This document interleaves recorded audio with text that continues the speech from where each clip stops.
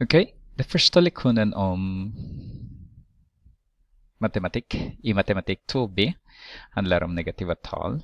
Det använder vi när vi lånar och vi har inget sparande så har man kredit. Då har man negativ i sitt sparande om man säger så. Eh, det finns också som heter minusgrader när det handlar om temperatur. Då är det eh, vatten blir is då. Eh, man tänker på hur kallt det är. Eh, I addition och subtraktion så använder vi två eh, särskilda regler. Det är exakt samma för dem.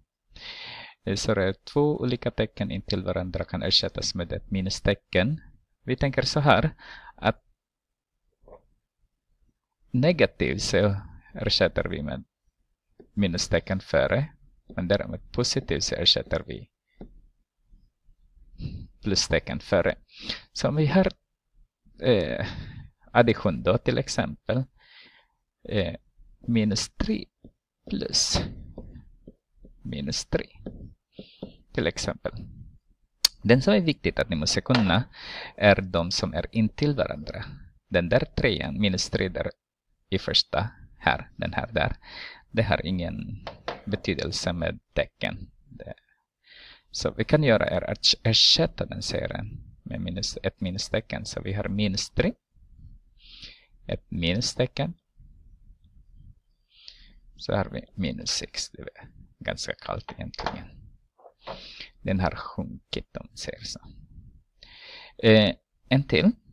Till exempel vi har 5 minus och sen säger vi plus 2 där. Den där plus 2 betecknas bara med att det är ett positivt Ibland skriver man inte, så skriver man bara så. Så har man förstått att det är positivt där. Så det är exakt samma som vi gjorde, ersätta med negativt tal, negativt tecken eller minustecken. Så har man positivt 3. Men däremot om det är lika så har vi till exempel ersätt lika nu då minus 5 minus minus 3 till exempel. Så har vi de två nu då. De två som är intill varandra som är minus. Så vi kan ersätta den med ett plustecken. Så blir det minus 2 då. Alltså det blir varmare tre steg man ser så. En till, till exempel vi har 5 minus minus 10 till exempel. Så har vi 5 plus 10. Då har man 15. Det finns också äh, äh, regler för multiplikation och division. Det är exakt samma. Vad ska man tänka då? Den säger så här. Delar det också.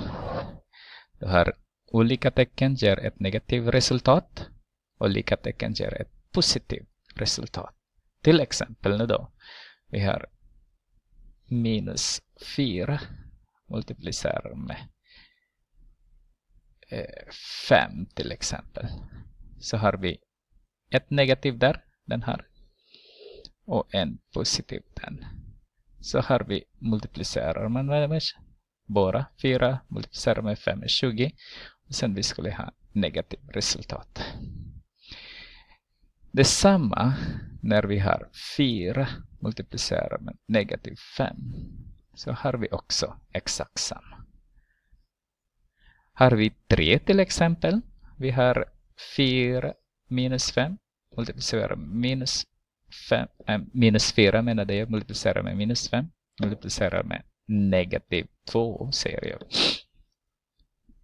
Det är bra att säga negativ också. Då har man den här och den där. Är det den där lika tecken ger ett positivt resultat. Så om vi säger så här nu då, den här blir positiv så vi har 20. Alltså 4 gånger 5. Och sen vi har fortfarande den där.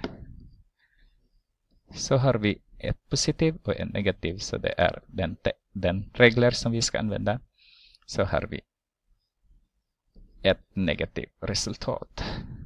Och som sagt, exakt samma som gäller för division.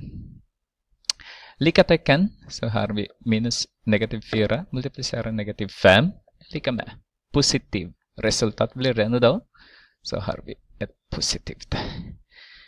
Om vi har fyra stycken lika, till exempel.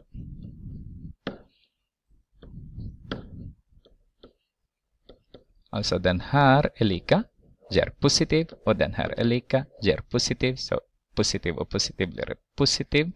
Då ger ett positivt tecken.